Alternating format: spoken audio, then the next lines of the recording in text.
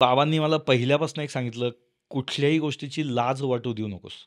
म्हणजे तू काहीही कर, प्रामाणिकपणे कर आणि कोणालाही फसवू नको आणि कशाची लाज बाळगू नको. तुम्ही केलेलं प्रॉडक्ट प्रत्येक माणसाला जगातल्या आवडलंच पाहिजे असा काही नियम नाही आहे जर तुम्हाला ती आयडिया चांगली आहे, पण 1, 2, 3, 4 चेंजेस केलेत तर चांगली आहे, असा फीडबॅक दिला, तर तुमचा अपमान झाला असं समजू नका. तुम्ही प्रयत्न करा, तुम्ही जर खरे अन इनोव्हेटर असाल तर ते बदल त्याच्यात आणता प्रॉडक्टमध्ये. तर तेव्हा तुम्ही एंटरप्रेनरशिपची पहिली स्टेप गाठलेली असते. ओरिजिनल इझी ड्राय हे माझं आहे. हे मला सांगायला लागतं आहे एका एकीकडे असं वाटतं, की अरे हो, माझा ब्रँड केवढा मोठा आहे. पण त्याच बाजूला नुकसानही खूप होतं. म्हणजे कॉपी होते. आणि लोकं इझी ड्राय मागतात, इझी ड्राय विकत असतात सर्रासपणे. म्हणजे ब्रँड इतका मोठा झालाय, हो आणि आता कॅटेगरीचं हो, नाव झालंय. कॅटेगरीचं आलंय. Amazon आणि Googleवरती पण ह्या कॅटेगरी क्रिएट झाल्या आहेत. तुम्ही स्वतःसाठी वेळ काढा. म्हणजे ही चूक मी सु सुरुवातीला केली होती, की मी तो बिझनेस, बिझनेस, बिझनेस जरी मी आत्ता म्हणालो, की तुमच्या 24 तास अंगात भिनला पाहिजे, तरी एक ब्रेक घेणंही तितकंच गरजेचं आहे. आणि त्यावेळेला तुमच्या अपरोक्ष बिझनेस तसाच चालला पाहिजे. हे तुम्ही जेव्हा तुम्हाला जमेल, त्यावेळेला तुम्ही सक्सेसफुल व्हायची पहिली पायरी गाठली तसं समजा.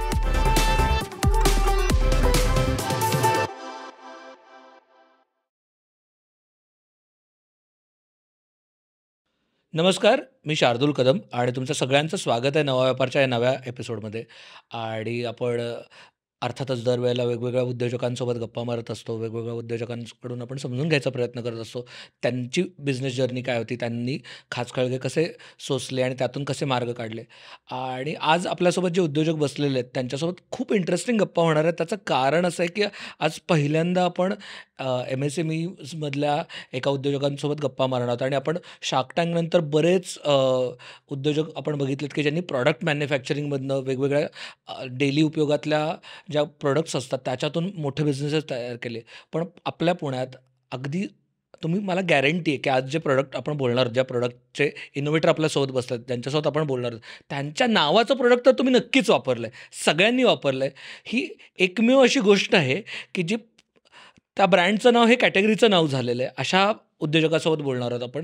पण आज सगळ्यात महत्त्वाची गोष्ट आज शिकण्यासारखी आहे. म्हणून मी आज जरा इंट्रोडक्शन लांबवणार आहे, की नेवर लेट गो. काही झालं तरी सोडायचं नाही. डटके के आहे ह्या या पद्धतीने ज्या माणसाची जर्नी रा चालत आलेली आहे, त्या माणसासोबत आज बसलेलो आपण. कारण आपण जनरली जेव्हा यंग उद्योजक असतो, सुरुवातीची जर्नी चालू असते. आपल्याला अरे नाही जमत आहे, कुठे चाललोय काय कळत नाही आहे, सोडावं का? मला मार्जिन्स कमी वाटत आहेत सगळेच माझे लोकं कॉपी करतायत, मला कळत नाही, की ही इंडस्ट्री किती मोठी होणार आहे, हे प्रॉडक्ट चालणार आहे का नाही? ह्या सगळ्या प्रश्नांची उत्तरं आज तुम्हाला मिळणार आहेत. आणि जर तुम्हाला आज ह्या प्रश्नांची उत्तरं हवी असतील, खरंच हवी असतील, तर पूर्ण एपिसोड बघा.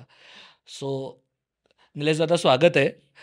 सो आज आपल्यासोबत आहेत हां, ओळख करून देतो सगळ्यात महत्त्वाची.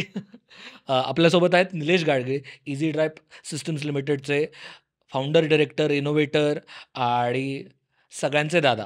सो नमस्कार शार्दूल. मी स्वतः अमुक तमुक शो आणि मी सबस्क्रायबर आहे. मी अमुक तमुक शोचा फॅन आहे आणि मी नवा व्यापारचे सगळे तुमचे एपिसोड्स आवर्जून बघितलेले आहेत. मराठीमध्ये खरंच इतक्या सोप्या पद्धतीने असं इतकं चांगलं सांगणारा कंटेंट नाही आहे. सो मी ते आवर्जून आणि माझ्या मित्रांनाही पाठवत असतो. या नवीन जे जनरेशन ज्यांना बिझनेस करायचा आहे, त्यांनाही मी आवर्जून पाठवतो. सो त्याच्यासाठी मला तुमचं अभिनंदन करायचं आहे. Thank you thank you so much. आपण पोटात हात घालूया सगळ्यात. इझी ड्राय काय आहे? हे सगळ्यात समजावून सांगूया पहिल्यांदा लोकांना. मी उलटं तुलाच विचारतो. सो तू कपडे वाळत टाकायला काय वापरतोस? तर माझ्या घरी एक स्टँड आहे. त्या ते असं 3 लेयरचं स्टँड आणि त्याच्यावरती कपडे. जमिनीवर ठेवायचं. हां, जमिनीवर ठेवायचं.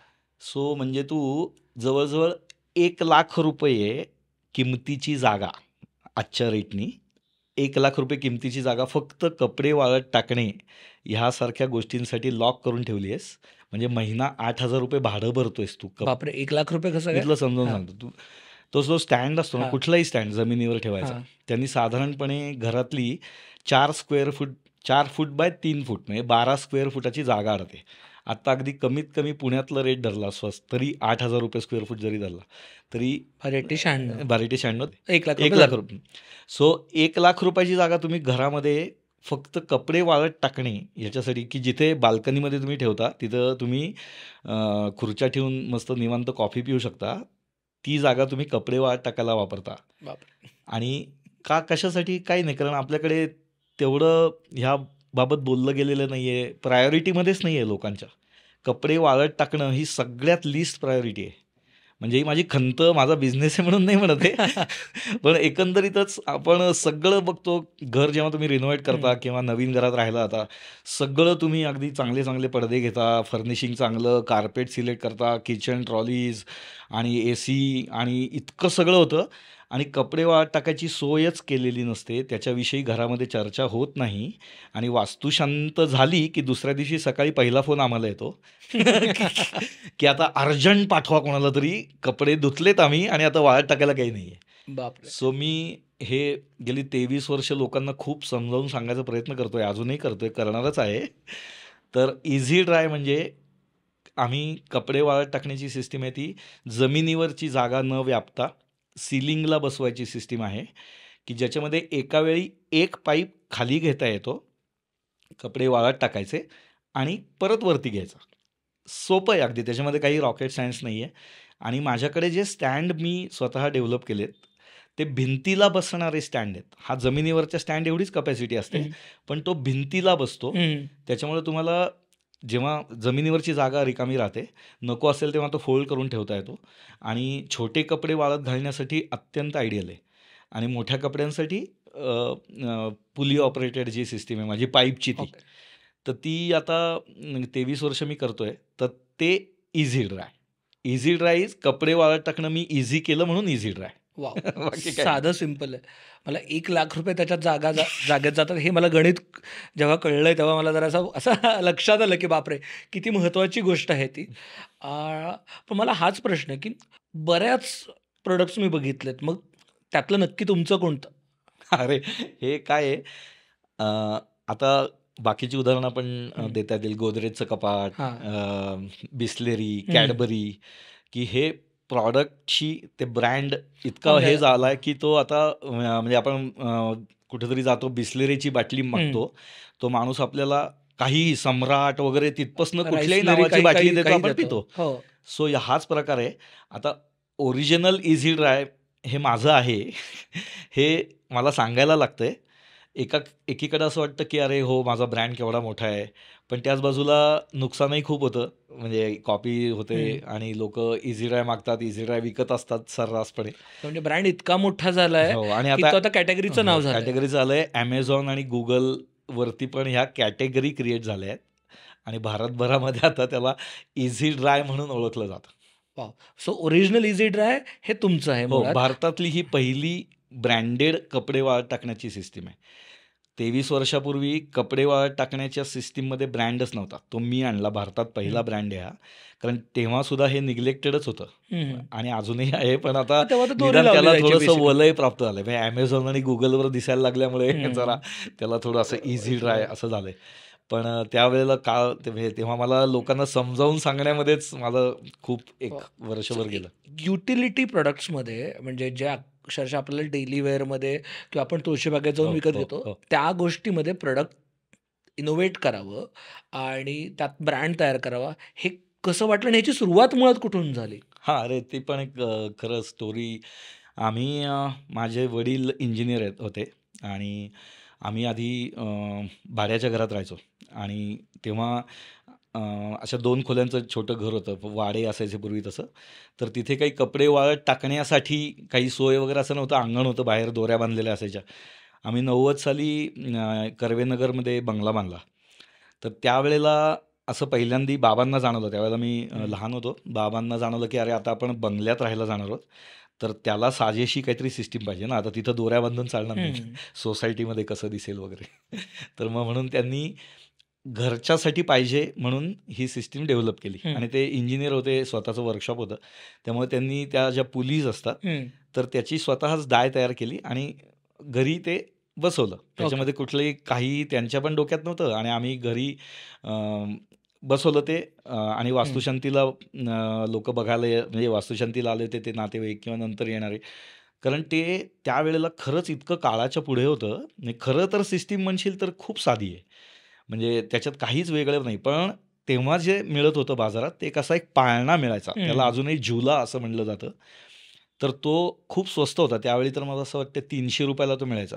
त्याच्यात असं असतं की एक 4 किंवा 5 पाईप किंवा दोऱ्या बांधलेलं एक अशी. फ्रेम ती अख्खी एका दोरीने खालीवर होते. हं. एक साधारणपणे मिळणारी सिस्टम होती. पुली सिस्टममध्ये. हो, म्हणजे ती स्वतः अडकवायची होती. मला. आठवतं तुळशीबागेतनं लहानपणी आणलं माझ्या घरी ते. तर ते त्याच्यात असं होतं की त्याच्यामध्ये जो वापरणारा आहे त्याचा विचार कोणीच केला नव्हता. म्हणजे त्याला सोयीचं पडेल का? त्याला त्याच्या रिक्वायरमेंट्स काय ह्याचा विचार नव्हताच केला. ते त्या करणाऱ्याला सोपं पडतं, लावणाऱ्याला सोपं पडतं असा इतका साधा विचार होता. ते मिळायचं तीनशे रुपयाला त्यामुळे परवडायचं.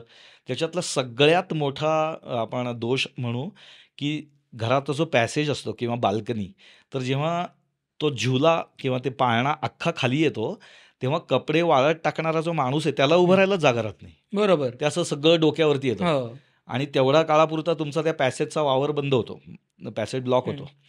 त्याच्यावर ओले कपडे घातले की तो पाळणा खूप जड होतो. कारण जवळ-जवळ 7 किलो 8 किलोचं वजन असतं. तर मी काही घरं अशी पाहिली आहेत की ते इतकं जड होतं की त्या बायका ते वर ओढूच शकत नाहीत. त्यामुळे ते तसंच ठेवून देतात. दिवसभर आणि ते घरातले लोकं त्याच्या खालनं वाकून जाऊन वगैरे असं सरकशी चाललेले असतात. आणि जरी ते वर ओढलं समजा अगदी ताकद लावून, तरी ते एका ठराविक उंचीपर्यंत जातं. कारण त्याला वरती अशा 2 दोऱ्या असलेलं. स्ट्रक्चर हो. असायचं. त्यामुळं ते वर गेलं तरी टॉवेल वगैरे घातलेले डोक्याला जाय लागायचे हं. येता-जाता. तर हे सगळे ड्रॉबॅक्स होते. पण तेव्हा काय होतं, तेव्हाचं आयुष्य पण साधं होतं. कोणाला चालत होतं. सगळं. तर ते सोडून हे जेव्हा. बाबांनी डिझाइन केलं, तर ते आमच्या नातेवाईकांनाच ते खूप आवडलं. आणि सुदैवाने मी कॉमर्सला असल्यामुळे ना मला वेळ असायचा भरपूर. मी त्यामुळे समजू शकतो मी. आणि मला घरातनं पॉकेट मनी मिळत नव्हता. म्हणजे. मला पुरेसा मिळत नव्हता. तर त्यामुळे मग नंतर काही नातेवाईक विचारायला लागले, "अरे तुमच्या घरी जे लावलंय ते आमच्या घरी बसवशील का?" तर मी म्हटलं की "काय बसवतो." वेळच वेळ होता. त्यामुळं त्यावेळेला आधी दर रविवारी बसवायला सुरुवात केली. मग नंतर-नंतर हळू-हळू वाढायला लागल्यानंतर मधल्या दिवसांमध्ये लावायला सुरुवात केली.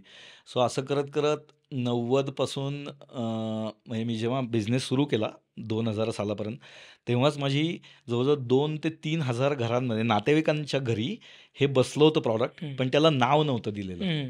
म्हणजे त्यांच्या घरी ते होतं. पण त्याला इझी ड्राय वगैरे असं काही नव्हतं. त्यांच्या. घरी एक कपडे वाळत टाकायची आधुनिक सिस्टम असं त्याला! म्हणायचे आणि ते सगळे लोकं अत्यंत खुश होते त्याच्यावरती! आणि कानोकानी व्हायला लागलं. पुलंच्या कथांमधल्यासारखं ते ऑटोमॅटिक सिस्टम. म्हणजे तसंच होतं अगदी. म्हणजे हौसेने दाखवायला लागले लोकं आमच्या खोली येते.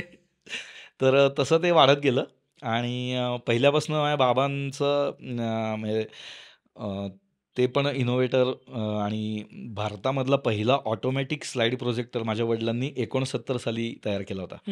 तर त्यांना पहिल्यापासून ते हेच होतं काहीतरी वेगळं करायचं. काम सोपं करायचं. काम. करण्याचा प्रयत्न प्रयत्न. करायचा. मग त्यानंतर तुम्ही 2002 साली का 1 साली? 2000 साली सुरू केलं. 2000 साली बिझनेस केला. बाबांनी मला पहिल्यापासून एक सांगितलं, "कुठल्याही गोष्टीची लाज वाटू देऊ नकोस. म्हणजे तू काहीही कर, भाजीही खावं तर, पण लाज वाटता कामा नये. आपल्याला कोणी आपल्या आपण असे आहोत महाराष्ट्रीयन लोकं की आपलं काही गडगंज हां. ठेवलंय, 5 पिढ्या पुरेल एवढं असं नाहीये. सो तू काहीही कर, प्रामाणिकपणे कर आणि कोणालाही फसवू नको आणि कशाची लाज बाळगू नको." त्यामुळे मला म्हणजे जेव्हा मी इझी ड्रायला सुरुवात केली, तर त्यावेळेला सुरुवातीला 1 वर्ष लोकं म्हणायचे, "अरे तू बाबांचा बिझनेस सोडलास, आता काय करतोस?" मी म्हटलं, "ते मी असं-असं कपडे वाळत टाकण्याचं." "बरं आणि मग जॉब कुठे करतोस?" म्हणजे त्यांना असं होतं की ह्याच्यात एवढे पैसे मिळतील याला, म्हणजे पूर्ण कुटुंब चालेल एवढं, अशी परिस्थिती होती. आणि मी मला सुरुवातीला खूप त्रास झाला. पण मी म्हटलं, "तर हो, कप मी कपडे वाळत टाकायच्या सिस्टम बसवतो." म्हणजे मी तेव्हा स्वतः ड्रिलिंग करायचो, स्वतः मापं घ्यायला जायचो, सगळं मी करायचो. मला कशाचीही लाज वाटली नाही, अजूनही वाटत नाही. हे खूपच इंटरेस्टिंग आहे आणि खूप महत्त्वाचं आहे. कारण मला नमूद करावासा वाटतो हा मुद्दा. कारण का बऱ्याचदा ॲज अन यंग एंटरप्रेन्युअर किंवा युवा उद्योजक असताना थोडंसं कुठेतरी 2 खोल्यांचं ऑफिस चालू करतो आपण आणि को फाउंडर म्हणून हो. शिक्का लावतो आणि ते छान हे व्हिजिटिंग कार्ड व्हिजिटिंग. कार्ड्स घेऊन फिरायचं आणि मग छोट्या-छोट्या कामांची थोडी लाज वाटायला लागते. नाही, मी आता को फाउंडर आहे. मी कंपनीचा मालक आहे. मग मी हे नाही करणार, मी झाडू नाही मारणार, हो, हो, मी हो. पण अ, मला हे खूप शिकण्यासारखं वाटतंय, हो. की बाबा तुम्ही सुरुवातीला अगदी ड्रिलिंगपासून, साफसफाईपासून सगळं अगदी, अगदी. म्हणजे मी ज्या घरामध्ये बसवायला जायचो सिस्टीम तर त्या त्यावेळेला जो सगळं हं. धूळ पडते खाली, ती मी स्वतः त्यावेळेला त्यांच्याकडनं कुंचा मागून घेऊन ते सगळं स्वच्छ करायचो. आणि अजूनही जर तुम्ही इझी ड्रायचं फिटिंग करून घेतलत ना घरी, तर ती सगळी मुलं तसंच काम करतात, की जे मी करायचो तसंच ते कल्चर अजूनही आहे. ह्या छोट्या-छोट्या गोष्टी आहेत. ह्या वाटतात आपल्याला, की पण त्यांनी एक प्रकारचं तो ब्रँड जो मोठा होतो ना, तो ह्या छोट्या-छोट्या गोष्टींनी वाह! म्हणजे. ब्रँड म्हणजे फक्त छान. डिझायनिंग आणि छान मार्केटिंग आणि. काहीतरी कॅम्पेन केलं तर ब्रँड नाही होत. ह्या छोट्या-छोट्या अगदी, गोष्टी तुम्ही. सर्व्हिस कशी देता, हो, हो. तो ट्रस्ट तुम्ही नसताना देखील कारण. एस्पेशली सर्व्हिस इंडस्ट्रीत असं होतं, की मालकांच्या पर्सनॅलिटीवरती तो ब्रँड तयार होतो आणि. तो मग स्केल नाही करतात. कारण स्केल करताना काय होतं, मग दुसरी लोकं येतात आणि मग त्यांची पर्सनॅलिटी. आणि ते रेप्लिकेट हो, नाही होत, ते हो, स्केल नाही होत हो. आणि मग तो ब्रँड डायल्यूट होऊन जातो. सो ते खूपच इंटरेस्टिंग मला ऑब्झर्वेशन म्हणून वाटतं, की कारण का बिकॉज दादा तू झाडायला लागलास त्यामुळे लोकांनाही कळतं, की आपला मालक पण जर झाडतो आपण मला झाडा. कसली लाज वाटली. पाहिजे आणि मग ते नीट व्हायला लागलं. बरोबर. मगापासून आपण बोलतो, की आता नंतर मुलं आली. हे स्केल करताना कारण. का हे प्रॉडक्ट म्हणून तसं हे युटिलिटी प्रॉडक्ट आहे. तर हे इझिली कॉपी पेस्ट होऊ शकतं हो, का? हो. आणि कॉपी पेस्ट आपण बोललो तसं, की काही लोकांनी हो, केलं पण. आणि मग हे स्केल कसं करायचं आणि त्या स्केलमध्ये हा ह्या कॉम्पिटिशनमध्ये टिकून कसं राहायचं?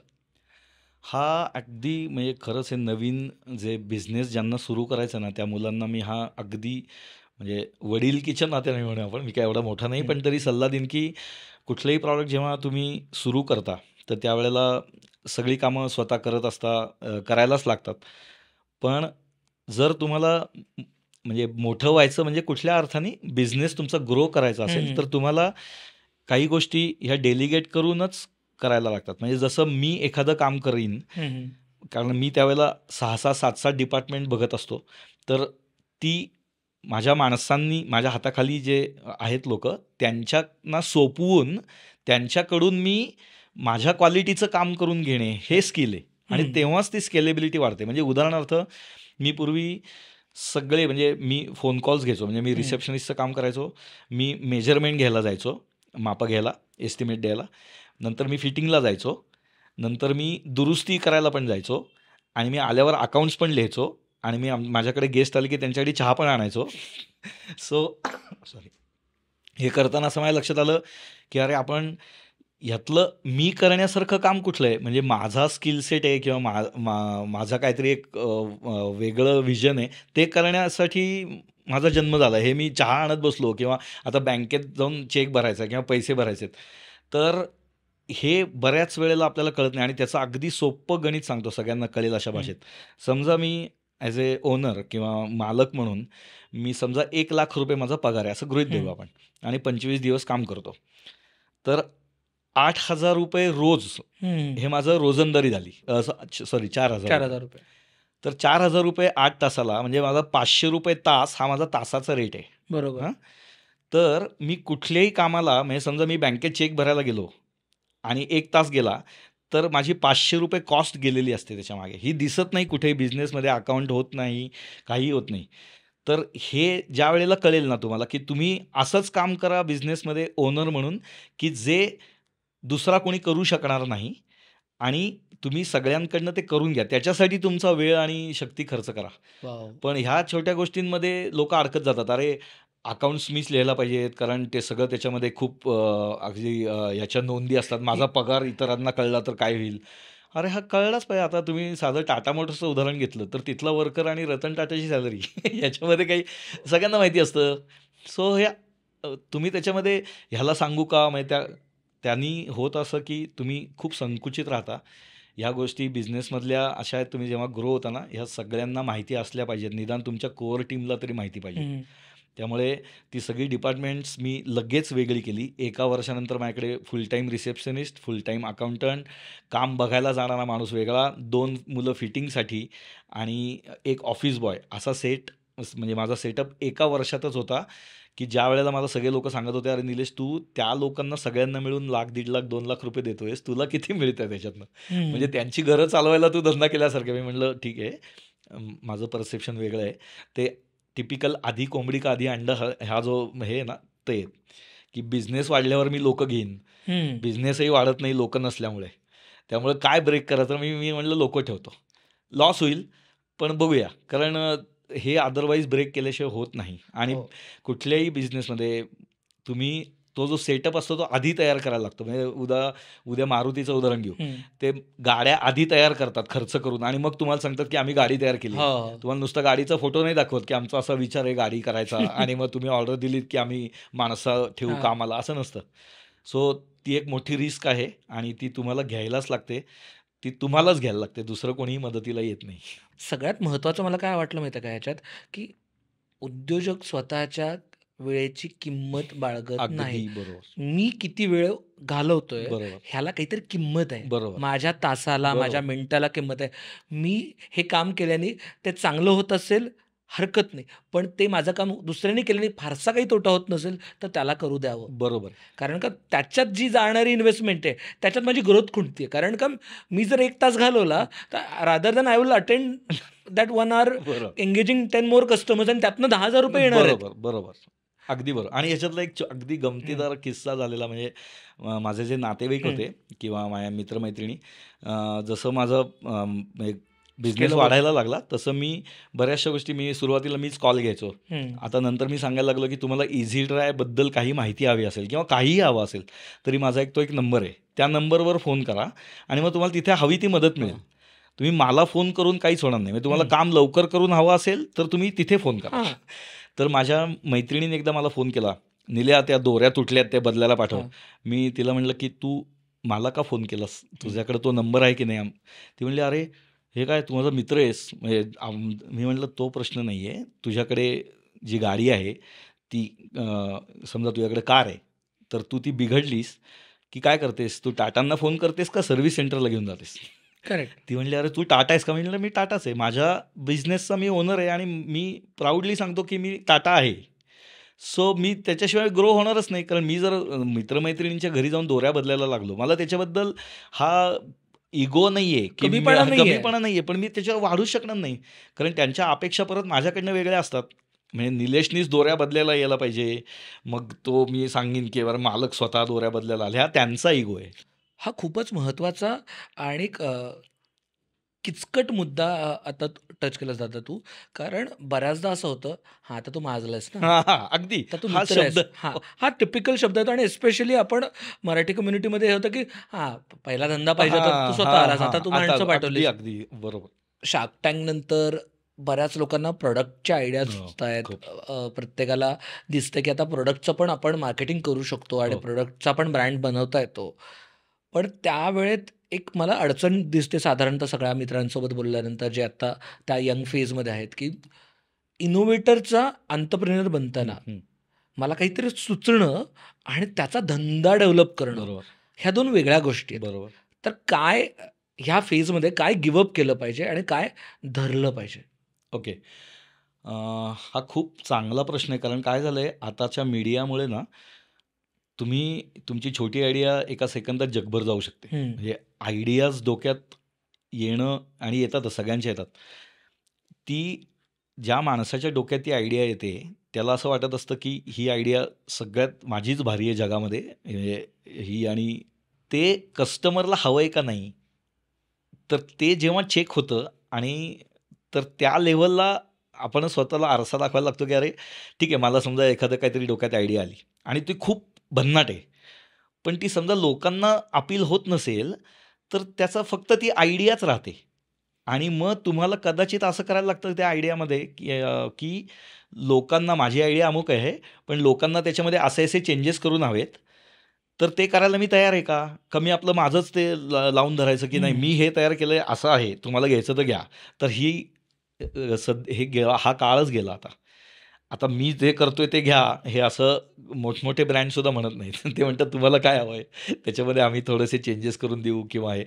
कारण इनोव्हेशन हा एक असा भाग आहे ना की जो जगाच्या कानाकोपऱ्यामध्ये छोट्या छोट्या गोष्टींपासून मोठ्या गोष्टी सारखी इनोव्हेशन्स होत असतात. म्हणजे आपल्याकडे सुद्धा शेतीमध्ये होत. असतात. पण ती आयडिया जेव्हा तुम्ही बिझनेस म्हणून ॲडॉप्ट करता तर त्या सगळ्या ते पॅरामीटर्स बदलतात. म्हणजे तू तुझी आयडिया आहे तू एखादं प्रॉडक्ट डोक्यात आलं ते समजा महिन्याला दहाच विकलेस तर तुझं घर नाही चालणार. तुला दहा हजार विकलेस तर घर चालणार आहे. दहा हजार. म्हणजे हा आकडा depending upon that depending on depending upon ticket size तो बदलतो. म्हणजे तुमचं प्रॉडक्ट छोटं आहे का मोठं आहे. म्हणजे दहा हजार विकू का दोनशे विकू. तर ह्याच्यासाठी काय करायला पाहिजे? तर तुमच्या डोक्यात एखादी आयडिया आली तर त्याचं आता प्रोटोटायपिंग. करणं खूप सोपं आहे. म्हणजे पूर्वीच्या काळी अवघड होतं पण आता थ्री डी प्रिंटिंग आणि या सगळ्या टेक्नॉलॉजीज आलेल्या आहेत. तर त्यांनी तुम्ही काही मोठी उडी घ्यायच्या तुम्ही एक प्रोटोटाईप तयार करा. एक पन्नास लोकांना ते दाखवा वापरायला द्या आणि कसा फीडबॅक येतो आहे ते बघा. जर निगेटिव्ह फीडबॅक आला तर तो पॉझिटिव्हली घ्या. म्हणजे तुम्ही केलेलं प्रॉडक्ट प्रत्येक माणसाला जगातल्या आवडलंच पाहिजे असा काही नियम नाही आहे जर तुम्हाला ती आयडिया चांगली आहे पण एक दोन तीन चार चेंजेस केलेत तर चांगली आहे. असा फीडबॅक दिला तर तुमचा अपमान झाला असं समजू नका.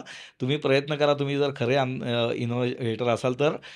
मग तुम्ही ते जेव्हा ते बदल त्याच्यात आणता प्रॉडक्टमध्ये तर तेव्हा तुम्ही एंटरप्रेनरशिपची पहिली स्टेप गाठलेली असते. की तुम्ही ते इनोव्हेशन बाजूला राहतं आणि आता तुम्हाला ते स्केलेबल करायचं आहे म्हणजे कमर्शियली व्हायबल करायचं आहे तर त्या दिशेने प्रवास चालू होतो. बेसिकली इगो इगो बाजूला ठेवायला लागतो. कारण अदरवाईज असं चालू शकणार नाही ना. कारण बेसिकली इनोव्हेटरची संख्या आणि लोकसंख्या हे प्रमाण इतकं व्यस्त आहे की म्हणजे एक आपल्याकडे प्रत्येक जण जुगाडूच त्यामुळं तर ते प्रत्येक वेळेलाच वर्क होईल असं नाही.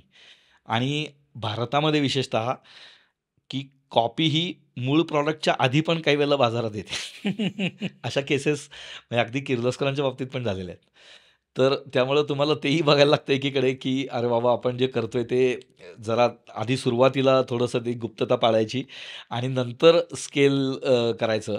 नाहीतर तुम्ही अगदी ओपनली सगळ्यांना सांगत सुटलात तर ते कुणाला तरी ती आयडिया तो घेतो आणि पुढे जातो. सो हे पेटंट पण फाईल केलं पाहिजे. आणि ह्याच्यामध्ये म्हणजे एक ब्रँड म्हणून आणि प्रॉडक्ट म्हणून हे जेव्हा विचार होतात तेव्हा आपण जे आय पी ज्याला म्हणतो इंटेलेक्च्युअल प्रॉपर्टी तर त्याचा खूप जास्त महत्त्व आहे. म्हणजे मी. आत्तासुद्धा इझीड्राय हा रजिस्टर्ड ब्रँडेड कॉपीरायटेड आहे. हा जर नसता तर माझी आत्ता म्हणजे जी व्हॅल्यू म्हणू आपण किंवा तर ती काहीच राहिली नसती. आणि ह्याचा सल्ला मला खरं सांगायचं तर दुर्दैवाने कोणी दिला नाही. पण मीच म्हणलं की अरे आपण हे ट्रेडमार्क ट्रेडमार्क काय बघतो सगळीकडं? प्रत्येकाच्या वरती ते टी एम असतं छोटं आर असतं. एका गोलामध्ये. तर म्हणून मी एका वकिलांशी बोललो तर ते म्हणले अरे असं असं असतं ट्रेडमार्क असतो असं असतं. तर तो मी दोन हजार दोन सालीच तो घेतला सुदैवानी. म्हणून आज मी माझी जरी कॉपी झाली तरी अजून ते ट्रेडमार्क कॉपी नाही झाला. हे. प्रॉडक्ट लोकांनी इझीड्रायसारखी खूप काढली आहेत मला मिळतात बाजारामध्ये. पण ते इझी ड्राय नावाने विकू नाही शकत. मग ते काहीतरी तिसरं लोकांनी तर म्हणजे इझी ड्राय नाव द्यायचं नाही म्हणून काय वाटेल ती नावं दिली. आलट उलट काहीतरी सगळं काय नावं एकाने. तर व्हेरी व्हेरी इझी ड्राय असं नाव तर मला त्यांना सांगायला लागला अहो तुम्ही हे असं नाही करू शकत कायद्याने. तर तो म्हणलं बदललं की आम्ही कुठे इझी ड्राय वापरतो? आम्ही व्हेरी व्हेरी इझी ड्राय वापरतो. म्हणलं नाही. म्हणजे लेडी ड्राय वगैरे नावं देण्या इथपर्यंत मजल गेली. बापरे. बिकॉज म्हणजे त्या नावाशी साधारण साधायचं म्हणून. जेव्हा प्रोडक्ट कॉमो कमोडिटी होतं म्हणजे तुम्ही दादा तू इनोव्हेट केलंस हो. ते बनवलंस ते छान क्वालिटीचं कष्ट घेऊन हो, बनवलंस हो, पण स्केल करत असताना मे बी तुझ्याकडे लोक आली असतील. तिथे आयडियाज बघितल्या असतील आणि त्या कॉपी केल्या असतील हो. अडवायचं कसं कारण का नवीन उद्योजक जेव्हा करत असतात म्हणजे आय पी आहेच आपण आय पी करूच पण त्याच्यात पण एक लिगल बॅटल मोठं आहे, आणि लोक. आपल्याकडे कुठलंही प्रोडक्ट आलं की दुसऱ्या दिवशी ते उल्हासनगरमध्ये तयार होतं हो अगदी बरोबर ह्याच्यात एकच आहे की तुम्हाला हे थोपवता येत नाही. भारतामध्ये तर जरा अवघडच आहे. बाहेरच्या देशांमध्ये जरा थोडंसं पाळतात. म्हणजे लोक सुद्धा एथिकली पाळतात. मा भारतामध्ये ते अवघड आहे. माझ्या आत्ता खूप पोलीस केसेस आणि. कोर्ट केसेस चालू आहेत त्याच्याविषयी. त्या एकीकडे चालू आहेत. सो मी आता काय करतो की मी लोकांना दुसऱ्याचं प्रॉडक्ट घाणेरडं आहे किंवा चांगलं नाही हे नाही सांगायला जात. मी त्यांना सांगतो की इझी ड्रायचं हे कल्चर आहे. इझी ड्रायची एक स्वतःची क्वालिटीचं एक हे म्हणजे आमचा एक स्टँडर्ड आम्ही बेंचमार्क सेट केला आहे सो मी हेच सांगत राहतो. आणि मी आता काय केलं आणि खरं आपण एक चांगली पण गोष्ट असते. आपण जसं म्हणतो निंदकाचे घर असावे शेजारी. खरं सांगायचं तर कॉम्पिटिशन आत्ता मला जी आली. पाच वर्षात तर त्यांनी मी खडबडून जागा झालो. तर तोपर्यंत मला असं छान मोनोपॉली आपली आपल्याला कोणी. हात लावणार नाही असं परिस्थिती होती. पावसाळ्यामध्ये लोकं 1-1 महिना थांबायचे इझी ड्राय बसवून घेण्यासाठी. कारण त्यावेळेला इतकी कॉपी नव्हती. झाली. माझी टीव्हीवर पहिल्यांदा जेव्हा जाहिरात आली, तेव्हा लोकांना याच्यातलं पोटेन्शियल बहुतेक कळलं असेल, की अरे हं. टीव्हीवर जाहिरात आली याचा त्याच्यात खूप पैसे खूप. पैसे. आणि त्याच्यानंतर ही सगळी कॉपीकॅट्स यात आले. कॉपीकॅट आले. तर वेगळं काहीतरी देत राहणं हे एक तुमच्या. हातात आहे. दुसरी गोष्ट, की जे एरियाज तुम्ही टॅप केलेले नाहीयेत. म्हणजे समजा आता माझी पुण्यात खूप जास्त कॉपी. आहे. तर मी मग कोल्हापूरला जायचं का? किंवा सांगलीत करू का? नाशिकमध्ये करू का? की जे अनटॅप्ड मार्केट आहे. अजून. कोणी तिथं पोहोचलेलं नाहीये. किंवा अ, मी बिल्डर लोकांनाच आता डायरेक्ट अप्रोच व्हायला. हं. म्हणजे हे एक-एक, एक-एक विकण्यापेक्षा आम्ही बिल्डर लोकांना जाऊन भेटतो. त्यांना सांगतो, की तुम्ही हे अमेनिटीमध्ये द्या. तर अशा प्रकारचं वेगळं मार्केटच आम्ही अ, एक्सप्लोर करायला सुरुवात केली. किंवा जिथं बल्क आम्हाला विकता येईल. हॉस्टेल्स आहेत. हॉस्पिटल्स आहेत. तर त्या ह्याच्यामध्ये आम्ही आता म्हणजे मला खरंच सांगायला खूप अभिमान वाटतो, की आम्ही इंडियन आर्मीला इझी ड्राय सप्लाय करायला सुरुवात. केली आहे. की जे अख्ख्या भारतामध्ये आमची एकच कंपनी आहे, की जी अप्रूव्ड अ, कपडे. वाळत टाकण्याची प्रॉडक्ट्स इंडियन आर्मीला देते. सो ते माझ्या दृष्टीने खूप मोठा सेगमेंट ओपन झाला. आणि जर कॉम्पिटिशन आली नसती, तर मे बी मी तिकडे गेलो नसतो. म्हणजे काही चुकांमधनं हे शिकायला मिळालं, की. ओके आपण बाबा जेव्हा कॉपीकॅट्स येतात, तेव्हा आपण इतकं मोठं व्हायचं, की लोकांना कळलं पाहिजे. म्हणजे बिसलरीच्या इतक्या कॉम्पिटिशन जरी आल्या, तरी Bisleri is Bisleri. Parle is Parle. Parle is Parle. बरोबर. जरी आणि एकतर तुम्ही प्रॉडक्ट इतक्या छान पद्धतीने डिझाइन केलेलं असतं, की ते कॉपी प्रॉडक्ट सारखं असू शकतं. सेम नाही असू शकत. हे ना ॲक्चुअली आपण म्हणतो ना, की सचिनसारखी बॅटिंग आहे. तर सचिनसारखी बॅटिंग अशी नसते. एकतर सचिनची असते किंवा दुसऱ्याची असते. किंवा तो लताबाईंसारखं गातो, लता दीदींसारखं असं नसतं काही. लता दीदींचं गाणं असतं किंवा नसतं. सो हे आपण जे म्हणतो ना, की तर असं होत नाही. इझी ड्रायचं प्रॉडक्ट हे इझी ड्रायचंच प्रॉडक्ट आहे. दुसऱ्या प्रॉडक्ट आणि हे शेजारी-शेजारी ठेवूनही कंपॅरिझन होत नाही आणि हे लोकांना बऱ्याच उशिरा कळतं. पण दुर्दैवाने. पण मी म्हटलं तसं, की प्रायोरिटी लिस्टमध्ये सगळ्यात तळाला असलेलं प्रॉडक्ट असल्यामुळे त्यांना! ते माझं नुकसान खूप होतंय. एकीकडं लोकं काही वेळेला माझं जेव्हा कळतंय आयडेंटिटी, मी इझी. ड्रायचा ओनर आहे, तर माझ्याबरोबर सेल्फी वगैरे घेतात. पण! पण एकीकडं मला त्याचे फायनान्शियल धक्के माहिती. आहेत. त्यामुळं बरं वाटतं असं छान त्यामुळे नवीन एंटरप्रेन्योरला काय सल्ला देशील दादा, की जर तुम्हाला वाटत असेल, की बाबा माझं कॉपी होऊ शकतं. माझं प्रॉडक्ट हो, कॉपीएबल आहे. कॉपीएबल आहे, असं वाटत हो. असेल, तर काय करावं तर? त्यांनी बेसिकली आधी ट्रेडमार्क रजिस्टर करणे. तर ती अगदी सोपी प्रोसिजर आहे. सगळं ऑनलाईन आहे आणि खूप ट्रान्सपरन्सी आहे. हं. आता खूप सोपं झालंय. मी केलं तेव्हा जरा. त्रासदायक होतं. ते एक आणि दुसरी गोष्ट तुमच्या प्रॉडक्टमध्ये अशा 1-2 काहीतरी गोष्टी असू देत, की ज्यानी ते तुमचं प्रॉडक्ट म्हणून ओळखलं जाईल. हं. हे कॉपी करणारा तुमच्या चुकांनाही कॉपी करत असतो. कारण त्याला म्हणजे मी ज्या म्हणजे मला एक डिझाइन केलं आणि मला त्यात माहिती आहे, की ही चूक झाली आहे. तर तो कॉम्पिटिटर माझे ते कॉपी करतो आणि त्याच्यानंतर मी दुसरं प्रॉडक्ट बाजारात आणतो, की माझी चूक वगळून. आणि की ते त्याला कॉपी करायला परत 6 महिने जातात. तर you have to you have to constant म्हणजे तो. रोजचा एक्सरसाइज आहे, की मी हे बदलत राहायला पाहिजे. दुसरं काहीच त्याला पर्याय नाही. कॉन्स्टंट अपडेट करत कॉन्स्टंट अपडेट करायचं. तुमचा काहीतरी छाप राहिला पाहिजे छाप राहायला त्याच्यात. पाहिजे. म्हणजे त्याच्या आणि त्याच्यामध्ये मात्र तुम्हाला म्हणजे हे असं विकत आणून होत नाही. काहीतरी असं एक आता जसं माझ्या प्रॉडक्टमध्ये 1-2 जी स्पेसिफिक गोष्टी आहेत, की ज्या कपडे वाळत टाकण्याच्या सिस्टममध्ये जगभरामध्ये त्या गोष्टीकडे लक्षच दिलं गेलेलं नाही. त्या मी स्वतः डिझाइन करून इंट्रोड्यूस केल्यात. किंवा आम्ही आता हँगर होल्डर म्हणून एक त्याला एक अटॅचमेंट देतो. किंवा सॉक्स वाळत घालण्यासाठी पाईपला एक अटॅचमेंट देतो. तर ह्या गोष्टी आणि मी त्याचं डिझाइन पेटंट घेतलंय. त्यामुळे आता ते दुसरे माझे कॉम्पिटिटर्स ते देऊ शकणार नाही सो हे आता हे शेवटी तुम्हाला उपजत यायला लागतं. म्हणजे हे. काही अर्थात. पण तुम्हाला हे नाही तेवढं काम केलं पाहिजे. हो तेवढं आणि त्याच्यावरती प्रत्येकामध्ये तेवढी कॅपॅबिलिटी असते. प्रत्येक माणूस हुशार असतो. तुम्ही त्या बिझनेसकडे कसं बघताय ना, त्याच्यावर खूप गोष्टी अवलंबून आहेत.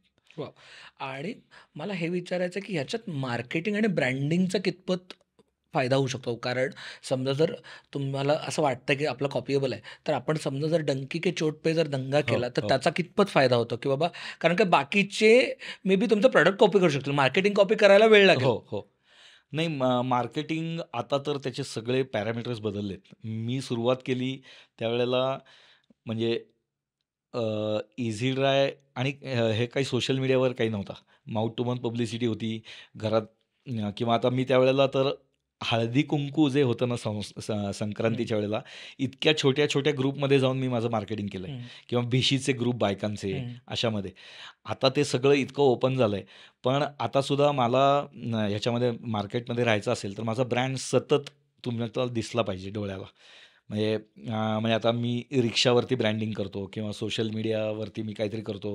माझ्या रेडिओवरती जाहिराती चालू असतात. होर्डिंग्स होर्डिंग्ज काही वेळेला लावतो. आत्ता ला नाही आहेत, पण होर्डिंग्ज असतात. काही वेळेला आम्ही काही स्पर्धा स्पॉन्सर करतो किंवा छोटे-छोटे इव्हेंट स्पॉन्सर करतो. हे करायलाच लागतं. तुम्ही कितीही मोठा ब्रँड असा, तुम्हाला लोकांच्या समोर तुमचं नाव दिसायलाच लागतं. बिस्लेरी बिसलेरी असू दे किंवा कुणी त्यांना तू कुठेही जाता येता बघितलंस तर बिसलेरीचं नाव दिवसातनं एकदा तरी कुठेतरी दिसतंच. करेक्ट, कुठल्या. तरी फॉर्ममध्ये.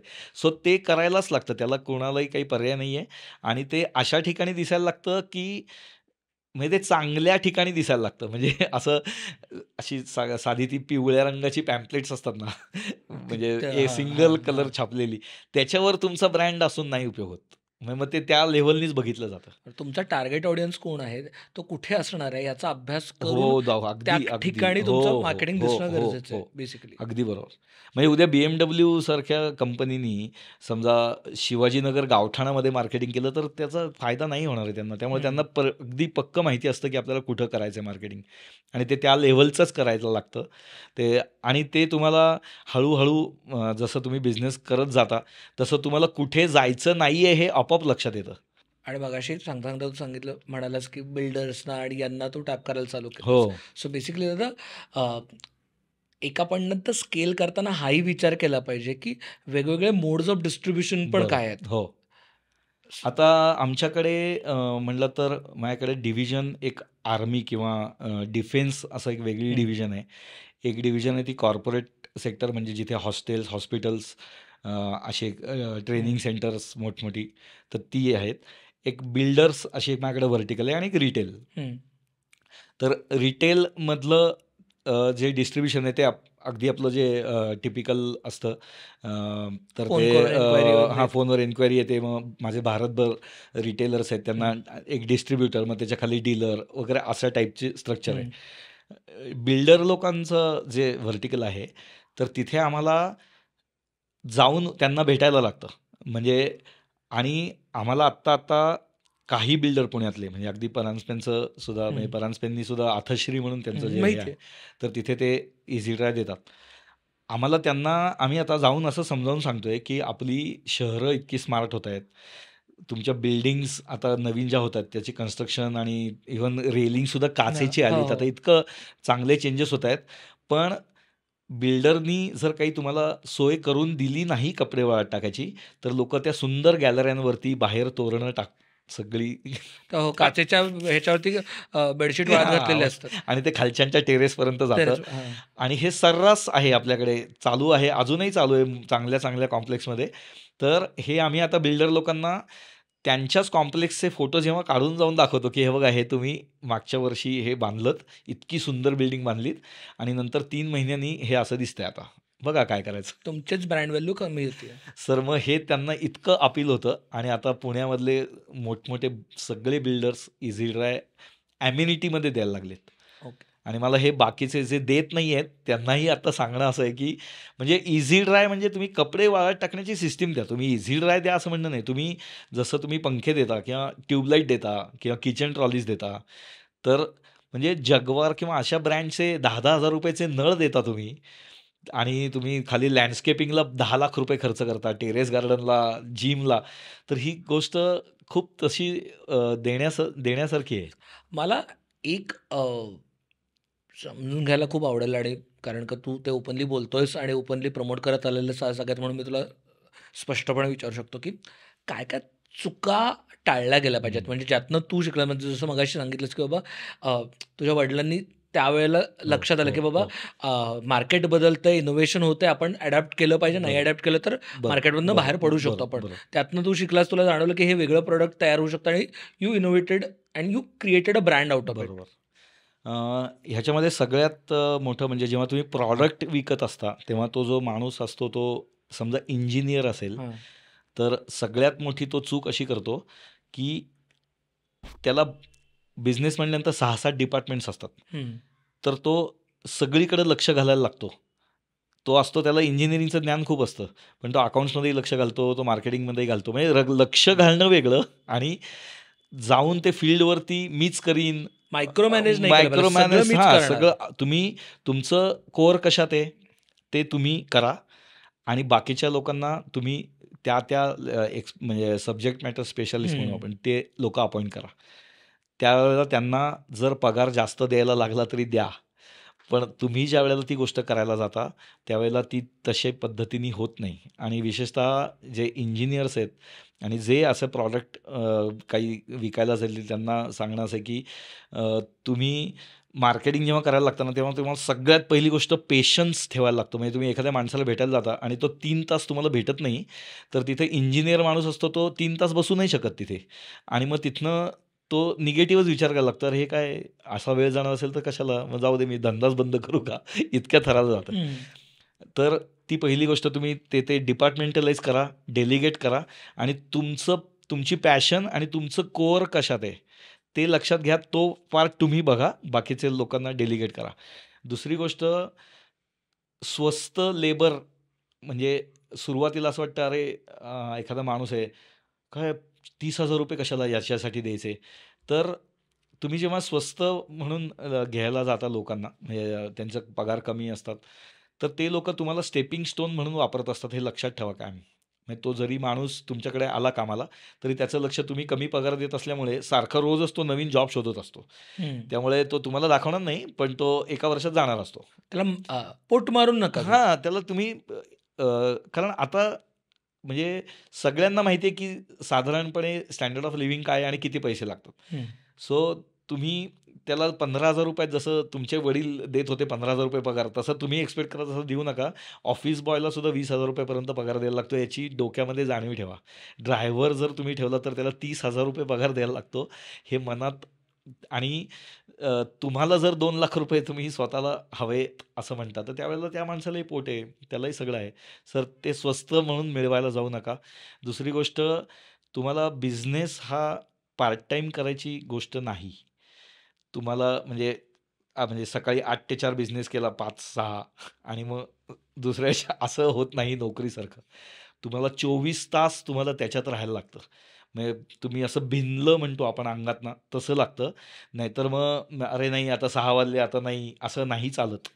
आणि तुम्हाला सारखं त्याच्यासाठी भले तुम्ही आणि त्याचा दुसरा एक फायदा पण असा असतो की जेव्हा तुम्ही सुट्टीवरती जाता तेव्हा नोकरीमध्ये तुम्ही जेव्हा जाता तेव्हा तुम्ही सांगून जाता मी आठ दिवस नाही आहे बिझनेसमनला एक दुसरा त्याचा असा फायदा असा आहे की तो जेव्हा जातो लांब तेव्हा त्याला कळतं की तो नसताना तुमची कंपनी कशी चालते.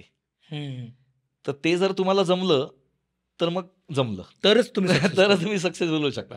तर ते त्या लोक काय होतं म्हणजे मीच पाहिजे तिथे मीच हे करायला पाहिजे असं करत करत करत ते इतकं अति होतं की स्वतःला वेळ द्यायचा विसरून जातात. आणि ते त्याच लूपमध्ये अडकतात. तर ते एक की तुम्ही स्वतःसाठी वेळ काढा. म्हणजे ही चूक मी सु सुरुवातीला केली होती की मी तो बिझनेस बिझनेस बिझनेस जरी मी आत्ता म्हणालो की तुमच्या चोवीस तास अंगात भिनला पाहिजे तरी एक ब्रेक घेणंही तितकंच गरजेचं आहे. आणि त्यावेळेला तुमच्या अपरोक्ष बिझनेस तसाच चालला पाहिजे. हे तुम्ही जेव्हा तुम्हाला जमेल त्यावेळेला तुम्ही सक्सेसफुल व्हायची पहिली पायरी गाठली तसं समजा. वा आणि ह्यामध्ये सगळ्यात महत्त्वाची गोष्ट म्हणजे आता शार्क टँकमुळं प्रत्येक मी मगाशी म्हणालो पण परत एकदा मला विचारावंसं वाटतं की शार्क टँकमुळं बऱ्याच जणांना प्रोडक्टचं मार्केटिंग करावं वाटतं हो. म्हणजे असं काहीतरी युटिलिटी डेली. युटिलिटीमधले प्रोडक्ट्स दिसत आहेत त्याचे डिझाईन सुचत आहेत त्याचं हो. करावंसं वाटतंय आणि पण तिथे गोंधळ चालू होतो हो. की माझ्या प्रोडक्टची कॉस्ट किती असली. पाहिजे माझं मॅन्युफॅक्चरिंग मी कसं करावं बरोबर मी किती मार्जिन्स ठेवावेत आणि हे चालणार आहे का नाही प्रोडक्ट ह्या गोंधळाच्या सुरुवातीच्या स्टेजमध्ये त्यांनी कसं काम करावं? कारण का याचं टिपिकल नॉलेज आहे ऑनलाईन अवेलेबल हो. एक तर पहिली गोष्ट सॉरी इन्फॉर्मेशन अवेलेबल नॉलेज नाही. आहे. बरोबर. नॉलेज कसं मिळवायचं? ह्याच्यामध्ये मी आता मी कॉमर्सला होतो त्याचा थोडा फायदा झाला. पण बेसिकली तुम्हाला डाउनवर्ड आपण जे हं. कॅल्क्युलेशन म्हणतो तसं समजा तुम्हाला बिझनेस सुरू करायचा एक प्रॉडक्ट हातात आहे. त्याची किंमत आपण आता सुरुवातीला असं म्हणू की ₹1000 आहे. तर तुम्हाला ह्या प्रॉ बिझनेसमधनं महिन्याला किती पैसे मिळायला पाहिजेत, हे आपल्या डोक्यात आकडे असतात. आता ते तुम्हाला 5,00,000 तुम्ही पहिल्या महिन्यात म्हणालात तर ते. पॉसिबल नसतं. अ, तुम्हाला मनात यायला हरकत नाही, पण अ, आपण उदाहरण घेऊ की ₹50,000 मला पहिले 6 महिने मिळावेत, नंतरचे 6 महिने 75,000 मिळावेत आणि मग ₹1,00,000 मिळावेत. तर ₹50,000 मला मिळवायला किती प्रॉडक्ट्स विकायला लागतील, हा जेव्हा हिशोब येतो लक्षात ना, तर त्यावेळेला तुमचे सगळे पॅरामीटर्स तुमचे पक्के होतात. आता हे करताना मटेरियल, लेबर, ओव्हरहेड्स ह्या ज्या पायऱ्या हं. आहेत, तर ह्या जेव्हा तुम्हाला कळतात, मांडल्या जातात, तर अगदी थंब रूल म्हणून सांगतो की तुमच्या जे प्रॉडक्ट तुम्ही ₹1,000 चं म्हणताय, की त्याची विक्रीची किंमत 1,000 आहे. तर थंब रूल म्हणून प्रोडक्शन कॉस्ट जी असते, मटेरियल कॉस्ट म्हणू आपण. मटेरियल त्याच्यासाठी जे लागणारं. असतं, त्याच्या तिप्पट त्याची सेलिंग प्राईस असावी, हा एक जनरल थंब रूल. आहे. मी त्यातलं काही अ, खूप मोठा सगळ्यात अभ्यासक जेनेरिक नाहीये, आहे, पण जेनेरिक नाहीये. जनर जनरली म्हणजे तुमचं ₹300-350 जर अ, त्याची अ, म मॅन्युफॅक म्हणजे मटेरियल कॉस्ट असेल, हां. मॅने म्हणजे मटेरियल कॉस्ट, तर तुम्ही ते तिप्पट किमतीला विकलं पाहिजे. आता काही वेळेला असं असतं की ते तिप्पट किमतीला विकता येत नाही. म्हणजे विकलं पाहिजे बरोबर आहे, पण ते प्रॉडक्ट जर खूप कॉम्पिटिटिव्ह असेल किंवा तर त्या ते पॅरामीटर्स बदलतात. ते आणि मग त्याच्या पुढे ज्या गोष्टी ॲड होतात, की मटेरियल एकतर तुमच्याकडे आलं, ते तयार करायला लागणारे मॅन्युफॅक्चरिंग एक्सपेन्स म्हणजे लेबर जे. कारखान्यात काम करतात ते. त्याच्या पुढे येतं त्याचं मार्केटिंग आणि बॅक ऑफिसचे खर्च. हे जोडत, जोडत, जोडत, जोडत गेलं, तर आपण जे ग्रॉस प्रॉफिट म्हणतो, तर नॉर्मली असं असतं की तुमची प्रॉडक्शन पूर्ण कॉस्ट म्हणजे त्याच्यासाठी लागणारं मटेरियल, ते तयार करायला लागणारं लेबर म्हणजे कारखान्यात काम करणारे आणि ते पोचवण्यासाठी लागणारे ओव्हरहेड्स म्हणजे टेम्पोचं भाडं वगैरे. तर ते पन्नास टक्क्यापर्यंत जर तुम्ही सीमित ठेवलं ना, तर म्हणजे ₹1,000 ची प्राईस आहे. हे पाचशे रुपयात बसलं, तर उरलेले जे ₹500 आहेत, त्याच्यामध्ये तुम्हाला बाकीचे आहे की accounts department, marketing department, office boy, ऑफिसचा सेटअप, लीगल एक्सपेन्सेस हे सगळं बसवून तुमचं नेट प्रॉफिट एक दहा ते 12% जर राहिलं, देन हे सगळं चांगलं गणित आहे असं समजायचं. मग त्याचं आता तुम्हाला उलटं कॅल्क्युलेशन सहज करता येतं, की मला ₹50,000 मिळवायचे आहेत, तर ह्या ह्याच्यात सगळे हे आकडे टाकले, की तुम्हाला कळतं की मला अ बेसिकली ₹125 तुम्ही पर प्रॉडक्ट कमवत हां. कमवत असाल, तर तुम्हाला किती म्हणजे ₹125 नेट राहतायत ह्या सगळ्या खर्च जाऊन. म्हणजे तर चार 4,000 प्रॉडक्ट हां, विकले गेले पाहिजेत. असं. तर ते आकडा कळतो. त्यावेळेला तुम्हाला तो आकडा विकावाचं लागतो. म्हणजे तिथं तुम्हाला डिस्काउंट करता येत नाही ते आणि एखाद्या महिन्यात समजा 2 आताच असा आपल्याला आकडा कळला, की 4,000 हं. विकायचेत. एखाद्या एक्झाम्पल तुझं 4 नाही. अ, आय गेस ते जे काहीतरी ते काय जे हां. कॅल्क्युलेशन येईल ते. पण तुम्हाला एखाद्या महिन्यामध्ये तुम्ही 4,000 चे 3,000 त विकलात, तर पुढच्या महिन्यात तुम्हाला 5,000 विकायचेत. सो हे पाईल अप होत जातं. हं. आणि हे जर ह्याच्याकडे बारीक लक्ष ठेवलं, तर तुम्हाला असं लक्षात येतं, की 1 वर्ष आपण खूप प्रयत्न करतोय, पण हे आता नाही वर्कआउट होतंय. तर मग नंतर प्रॉडक्टच वेगळं करायचं का? का वेगळ्याच मार्केटमध्ये जायचं का? वगैरे त्याचा विचार. केला. विचार म्हणजे मुळात तुम्ही सक्सेस काय आहे. किंवा माझं सर्व्हायव्हल अ, धरलं पाहिजे, की बाबा हे मिनिमम मी एवढे प्रॉडक्ट विकले पाहिजेत, तर मला एवढे-एवढे पैसे मिळणार आहेत. आणि त्याचा मी विचार करून अ, डिझाइन केलं पाहिजे. सगळं आणि हे नसेल होत कन्सिस्टंटली 3-4 महिने, तर मी विचार केला पाहिजे, की. बाबा इथर माझं प्रॉडक्ट चुकतंय किंवा मार्केट शोध सापडत नाहीये मला. सगळ्या गोष्टी हो, रिचेक सगळ्या केल्या हो, पाहिजेत बेसिकली. बरोबर. आणि हे करायला आता आता खूप सोपे टूल्स आहेत, हं. बऱ्याच गोष्टी खूप आता इतके व्हिडिओज हं. वगैरे पण आहेत.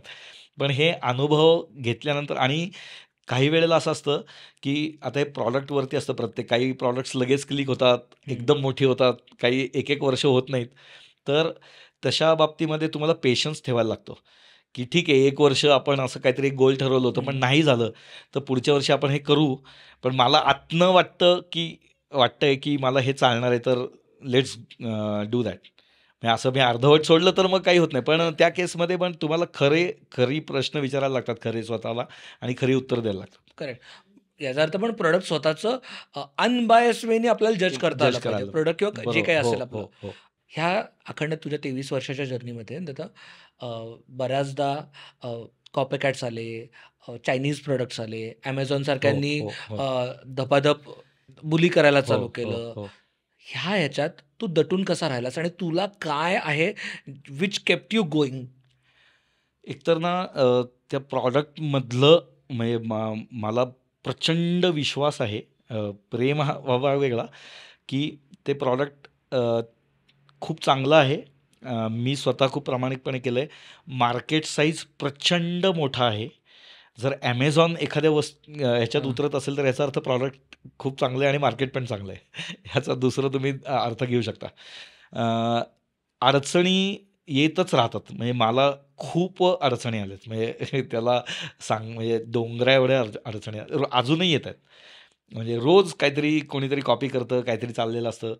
तर तशा ह्याच्यामध्ये एक आपल्यावर स्वतःवर जो विश्वास असतो ना, तर तो आपण सारखा रिचेक करायला पाहिजे. की अरे बाबा हे त्रासच होणार आहे. करायचंय का? हां. तर जर प्रॉडक्ट ह्या प्रॉडक्टनीच मला एवढं उभं केलंय 23 वर्ष. माझी ओळखच जर याच्यामुळे आहे. सो मी आता त्याला तसं वाऱ्यावर नाही सोडता कामा. म्हणजे मी आता दुसरं समजा हे बंद केलं. तर मी दुसरं काहीतरी करू क पण शकीन. पण मी स्वतःला रोज एक असा स्वॉट एनालिसिस जे म्हणतो आपण. तो मी सारखा करत असतो, की बाबा ठीक आहे, प्रॉब्लेम आलेत, पण चालू आहे ना, लोकांना आवडतंय ना, लोकांनी झिडकारलं नाही ना, देन इट्स फाईन. आणि ग्रोथ तीच तीच आहे. हो, दुसरं काहीच नाही. म्हणजे तुम्हाला आणि तुम्हाला शेवटी आता कॉम्पिटिशनमध्ये सगळ्याच बाबतीत कॉम्पिटिशन आहे. भेळेपासून ते फोनपर्यंत. स्मार्टफोनपर्यंत. त्यामुळे त्याला आता घाबरून नाही चालणार. हे एक आणि माझ्या बाबांनी परत जे सांगितलेलं माझ्या लक्षात राहतं, की प्रामाणिकपणे केलं, आपण एक गोष्ट चांगल्या पद्धतीने करत राहिली, करत राहिली, करत राहिली, की तुम्हाला यश आता ते परत शेवटी हेच आहे व्याख्या वेगळ्या आहेत. पण तुम्हाला एका पॉइंटनंतर लोकं ओळखायला लागतात आणि ते फक्त तिथपर्यंत जाताना जे वाटेवर जे सगळे अ, खाचखळगे येतात, ते त्याला म्हणजे खूपच जास्त ताकद लागते, हे मात्र नक्की. सो अडचणींमध्येच बोलताना प्रॉडक्ट स्पेसिफिक ह्याच्यात असं भीती होते, की तुम्ही काहीतरी इनोव्हेट करता. आणि कॉपी कॅट्स ते स्वस्तात हो, विकतात. हो. तर तेव्हा बऱ्याचदा प्रश्न पडतो, की तुमचं प्रॉडक्ट महाग आहे. तुम्ही काय असं वेगळं देताय? बरोबर. मग अशा प्रश्नांना उत्तर कशी द्यायची? आता आमची जी आम्ही जी क्वालिटी देतो ना, तर आम्ही त्याच्यासाठी लागणाऱ्या म्हणजे अगदी बेसिक प्लास्टिकपासून ज्या गोष्टी आहेत त्या आमचे कॉम्पिटिटर देऊच शकणार नाहीत. कारण आम्ही त्याचा इतका विचार केला. माझ्याकडे सगळे माझे मटेरियल्स आहेत ती एन-ए-बी-एल टेस्टेड आहेत.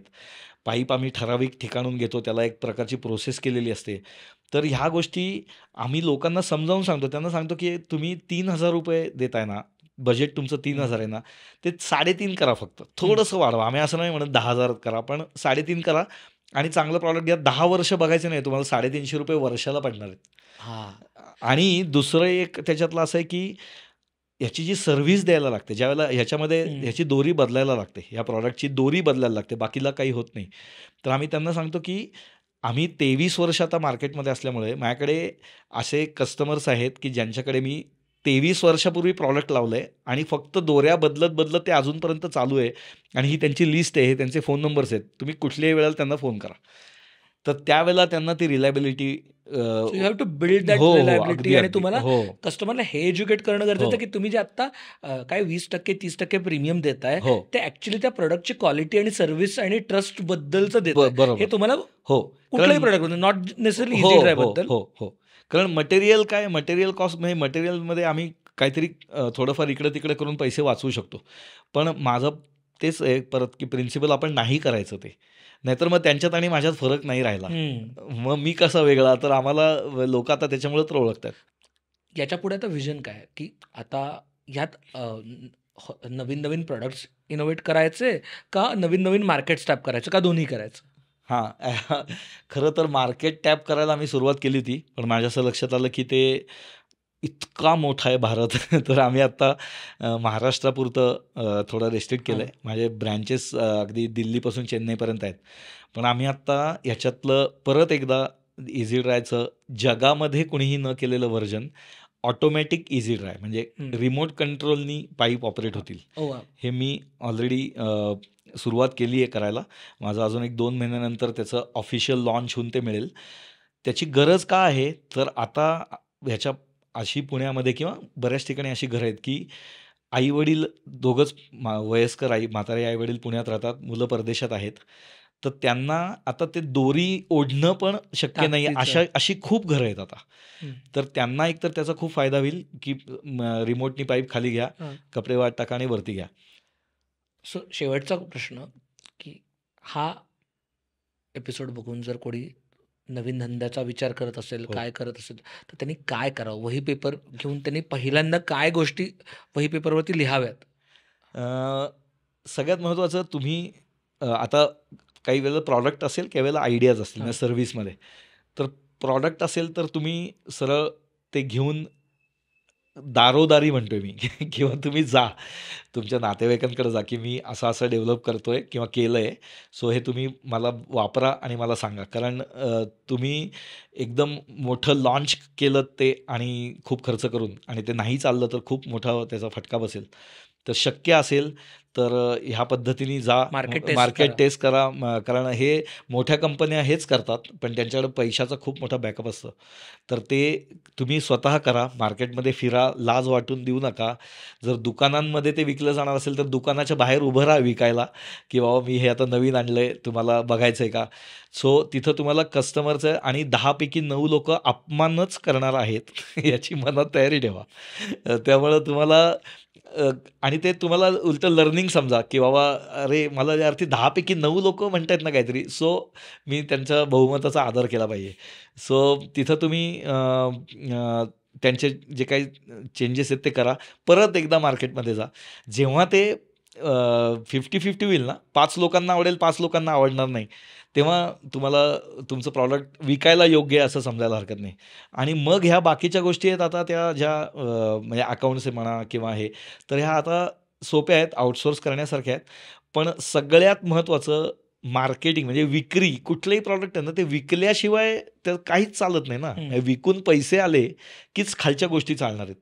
म्हणजे तुम्ही भले खूप मोठा प्लॅन टाकलात आणि रोबोटिक्सनी मॅन्युफॅक्चरिंग केलं आणि ते विकूच शकला नाहीत, तर त्याचा काहीच उपयोग होत नाही.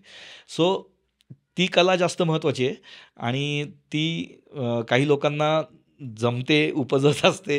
काही लोकांना जमत नाही. पण विशेषतः इंजिनिअरिंग बॅकग्राऊंडची जी मुलं आहेत ना, त्यांना तर हे करायलाच पाहिजे. म्हणजे तुम्हाला स्वतःला येत नसेल, कोणाची तरी मदत घ्या, पण तुम्हाला फील्डवरतीच जायला पाहिजे. हँड्स हो. अगदी, अगदी. आहे. शक्यच नाही. त्याशिवाय शक्य नाही.